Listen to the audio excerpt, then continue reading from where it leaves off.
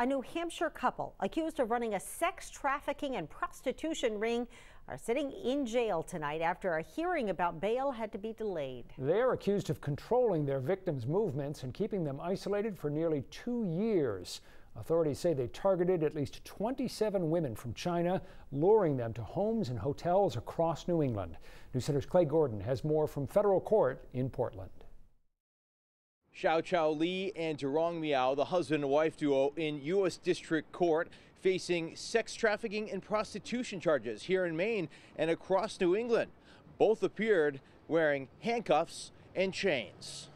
A 14 page indictment now unsealed, revealing the government's case against the Chinese couple Li and Miao, both 37, and details from May 2016 through February 2018. Assistant U.S. Attorney Darcy McElwee, the lead prosecutor on the case, says the couple used WeChat, which is popular in China and similar to Snapchat, to contact women there and entice or coerce them to come to New England.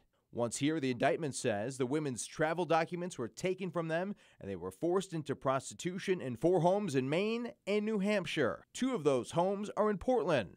The New Hampshire ones are in Manchester. The women were also taken to 11 different motels in three states. This rental on a busy Brighton Avenue is close to a popular shopping area. This path leading to Riverton Elementary School is next to the Verrill Street location. Li reportedly rented this residence between June 1st and July 18th in 2016.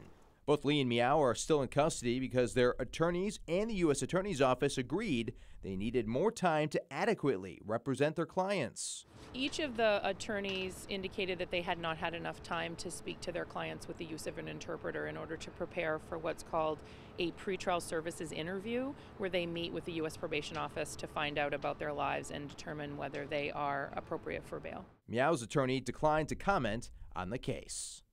The bail hearing for both of them is set for next Thursday. Mr. Li is scheduled at 1 p.m., Ms. Miao at 2.30. In Portland, Clay Gordon, News Center, Maine. The couple could face 15 years to life in prison.